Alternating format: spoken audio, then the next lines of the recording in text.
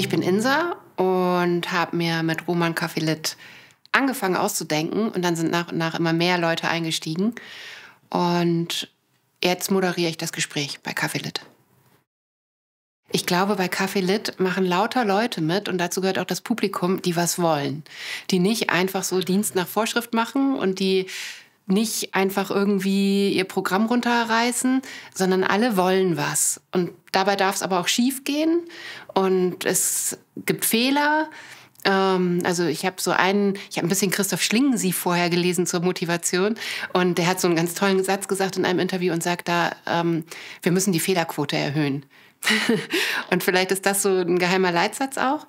Und ansonsten geht es eigentlich ums Lesen und Lesen von Texten als Lesen von Leben und von gesellschaftlichen Situationen auch. Und es geht darum, den Kreis der Leute, die sprechen, zu erweitern, aber auch den Kreis der Leute, die zuhören. Ja, ich glaube genau deswegen, weil immer der Druck da ist, man muss alles wissen, man muss alles perfekt machen und man vertuscht auch, wenn irgendwas schief läuft. Und eigentlich ist es viel schöner zu zeigen, wie alle immer etwas lernen. Und viel schöner zu zeigen, also zum Beispiel Fehlerquote, da ist Nikolas. Gehört mit jetzt zum Team. Eigentlich habe ich die schon länger, dass ich gerne was Eigenes machen möchte. Und einfach nicht ganz zufrieden bin mit den Möglichkeiten, die ich habe, um über Literatur zu sprechen. Und immer wenn ich dann überlege oder sage, wie ich es gern mal probieren würde, dann wird einem gesagt, ja, aber wo ist die Zielgruppe? Das will keiner hören, dafür gibt es kein Publikum und so. Erstens glaube ich das nicht und zweitens würde ich es halt gerne mal einfach probieren. Und ich glaube, das geht allen, die hier mitmachen, so. Alle möchten einfach gerne mal was Eigenes machen und mal gucken, ob es wirklich nicht geht, wie man sich's vorstellt. Und das vereint uns, glaube ich, auch hier im Team so ein bisschen.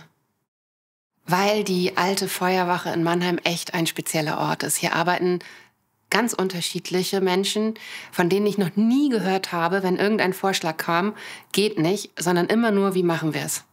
Und Festival lesen, hören, das kenne ich durch Roger Willemsen, der auch so ein geheimer Geist hier im Hintergrund ist und eigentlich auch gar nicht so geheim, weil der uns viele Mittel in die Hand gegeben hat, beziehungsweise hinterlassen hat, die jetzt mir die Möglichkeit geben, das hier einfach zu machen.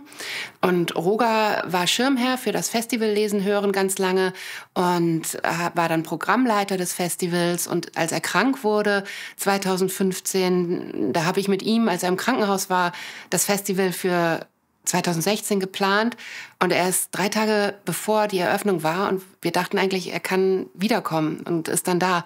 Drei Tage bevor die Eröffnung war, ist er gestorben und das war, weil das Publikum ihn hier sehr geliebt hat und auch das Team der Feuerwache, war das ein Moment, ja, den wir gemeinsam mit dem Festivalpublikum eigentlich durchgestanden haben und das hat eine ganz spezielle Bindung auch zwischen Stadt und Festival und ja, allen geschaffen. Und es ist eine Stadt, die eine Arbeitergeschichte hat, die eine Migrationsgeschichte hat. Es ist eine wahnsinnig lebendige Stadt und eigentlich fährt man immer nur durch. Und wenn man einmal aussteigt, vor allem wenn man in die Feuerwache geht, dann will man eigentlich immer zurückkommen.